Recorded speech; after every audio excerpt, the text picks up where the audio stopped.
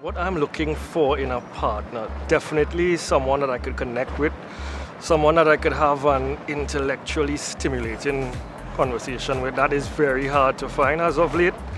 It's too much surface talk and all form and no substance. Um, nobody's perfect, you know, including myself, but I'm definitely looking for somebody that I could, you know, relate to on an intellectual level.